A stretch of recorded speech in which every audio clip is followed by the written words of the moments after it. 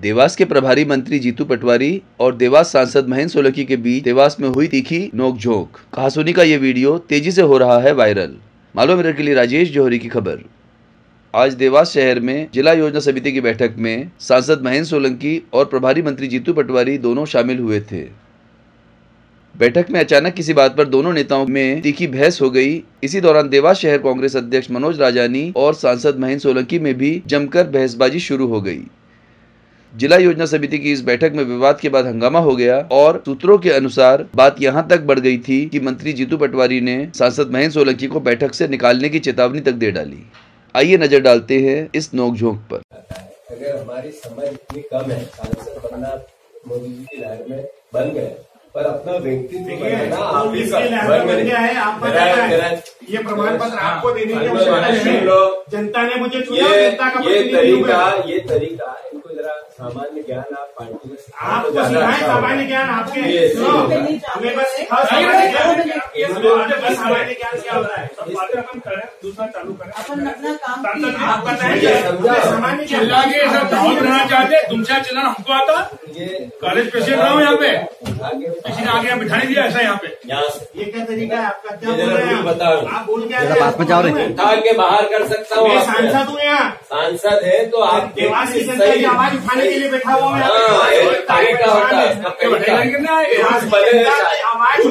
ये किसी भी जो व्यक्तिगत आस्था मुझसे रखता है इस ज़िले में एक सांसद जनप्रतिनिधि है उसने व्यक्तिगत रूप से मेरा अपमान किया है इसका सबक कोई अपमान सही समय पे इसको सिखाना है। मेरा आप सबसे हाथ जोड़कर प्रार्थना है। और ये जाओ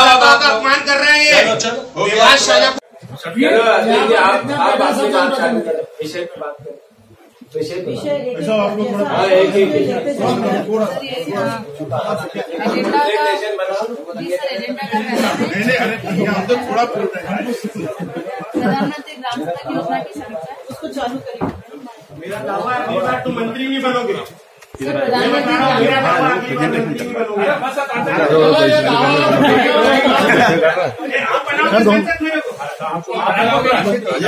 अगली बार मंत्री भी बनोगे बस आप आते अरे आप बनाओ संसद मेरे को अगली बार मंत्री भी बनोगे आपकी ये कौन रहे हमको बताओ सत्रह लाख मतदाताओं ने बनाया है देवास जनता ने बनाया है होना चाहिए पूरे ज़िले में पूरे संसद में पटवारी का अपमान किया। ध्यान रहे ये जहाँ जहाँ जाए जिस जिस गाँव